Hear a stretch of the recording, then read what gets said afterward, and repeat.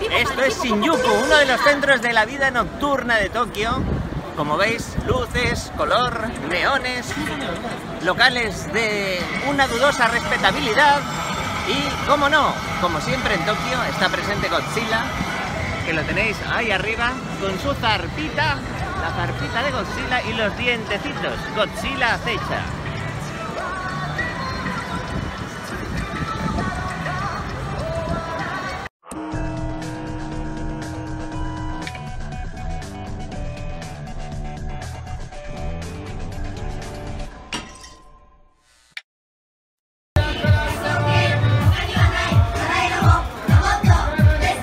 Veis, esta locura es el restaurante robot de Shinjuku. Tengo que tener cuidado a ver si me va a dar un guantazo.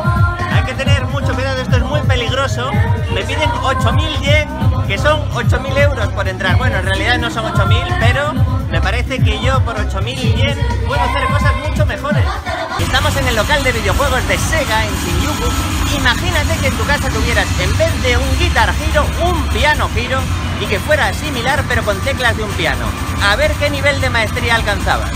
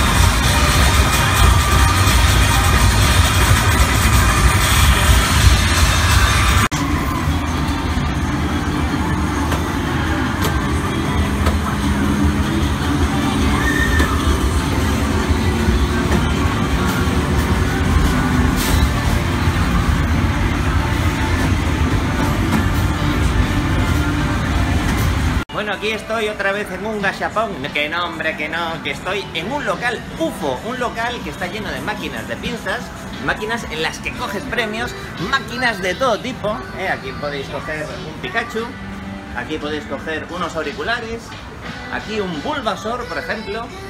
Parece que los Pokémon están muy de moda, aquí la gente coge de todas estas cosas. Venga Pikachu otra vez, venga Pokémon y otro, y más Pikachus. Esto es una cosa extraordinaria. Y aquí ya parece que cambia un poquito el panorama. Pero aquí hay más máquinas. Vamos a coger un tigre de peluche para que coja polvo en casa, que todo el mundo sabe que los peluches son un criadero de ácaros. Pero bueno, sigamos aquí. Y aquí un reloj de Coca-Cola, seguro que es una edición exclusiva y original. Un local de UFO. ¿Quién no querría tener uno en Madrid? Voy a probar yo a ver si gano una de estas muñequitas. Vamos a ver qué tal se me da. Evidentemente voy a coger esta que está aquí abajo, ¿eh? porque no hay que ser muy listo para ver que el resto son impracticables. Metemos una monedita de 100 yen. Entonces ahora le voy a dar un poquito para aquí. No funciona la pinza, parece ser. A ver. Venga.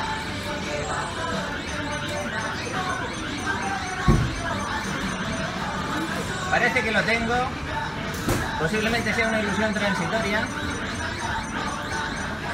Ha pasado una cosa físicamente imposible, desafía las leyes de la física, se ha quedado de canto. Igual tiene un poco de truco, ¿no? No sé.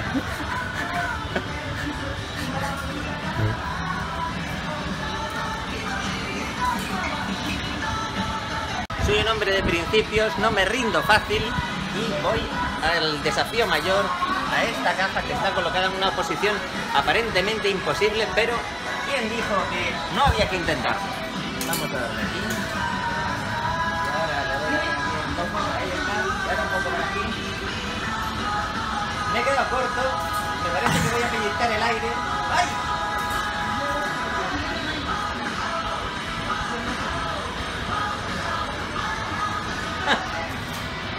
A lo mejor es que no gasto suficiente dinero.